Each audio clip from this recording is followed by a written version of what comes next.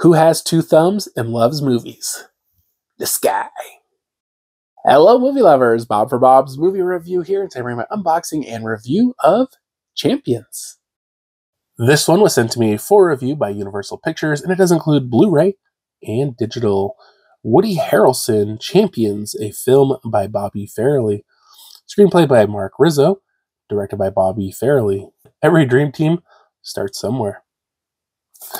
Here's a look at the spine. It does have both Universal and Focus Features logos in the bottom corner. Woody Harrelson stars in the hilarious and heartwarming story of a former minor league basketball coach who, after a series of missteps, is ordered by the court to manage a team of players with intellectual disabilities. He soon realizes that despite his doubts, together his team can go further than they ever imagined. There's a couple images there. Uh, bonus features 12 hilarious deleted scenes, casting reel, feature commentary with Bobby Farrelly, and more. This one's rated PG 13 for strong language and crude sexual references. Uh, we're going to look at the inside here for the runtime of 2 hours and 4 minutes. Audio includes DTS HD Master Audio 5.1, French Spanish DTS Digital Surround 5.1, and subtitles of English SDH Spanish, and French. Let's check out the inside here. Uh, we get a silver and dark blue Blu-ray. All right, guys, I just finished watching Champions, and I feel like, in a way, they were going for comedy. Uh, it is listed as a comedy, but I felt more like it was a heartwarming, uh, inspirational, feel good kind of movie. And with the exception of a few hilarious one liners, I didn't really find the movie to be all that funny. Now, this one stars Woody Harrelson as a basketball coach who uh, has some issues and he's definitely run into some trouble. And while he feels, and maybe other people feel, he is an NBA caliber coach, he's like a assistant coach at a college and he gets into a scuffle with the head coach and he gets fired and he ends up uh, drinking and driving, which is not funny. And he gets into an accident with a parked car and he can either go to jail or he can uh, perform community service. So, of course, he chooses the community service.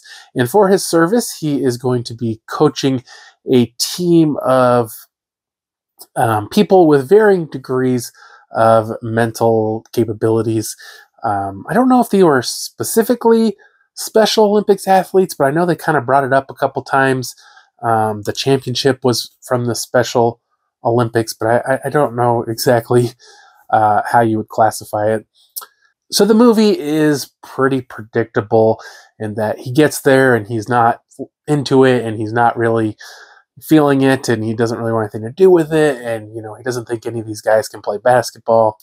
And of course he starts coaching them and getting to know them and helping them with their problems and of course becoming a better person himself. And of course these guys turn into an amazing basketball team. They're all like super good at basketball. I didn't realize it till the movie was almost over but it seemed like a lot of people were left-handed because their shots always looked weird. And I was like, wait a minute, is everybody left handed? I'm not sure it was everybody, but several people were left handed, which nothing wrong with that. It's just you don't see it that often. Now, as I said, it's it's a little predictable as these movies typically are, and the eventual romance that you see coming from a mile away with Kaitlin Olson, who is great in this movie. I really enjoyed her performance. Um, I don't know I've seen her in a lot besides It's Always Sunny, but she was great in this one. Uh, just a great cast, uh, a really interesting, fun, like I say, heartwarming, feel good, uh, inspirational kind of movie. Woody Harrelson's always great, very enjoyable in this one.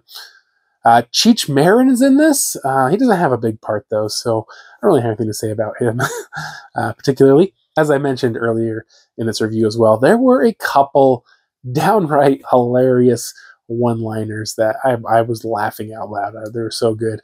Um, so I really enjoyed this one. It was a, a very fun movie, uh, very I've said it several times already, but heartwarming movie, and I, I, really enjoyed it. I think you guys should check this one out. I know a lot of people are already kind of comparing this to The Ringer, but I feel like this one, you know, was trying to be more authentic instead of more like just slapstick comedy. Uh, I love The Ringer, don't get me wrong, but uh, I just feel like this one is trying a little more to be authentic and and not so outrageous as The Ringer. And I liked it, guys. Four out of five. Hope you did enjoy the video. If you haven't already, subscribed for more videos, check the chest videos, and I'll see you guys next time.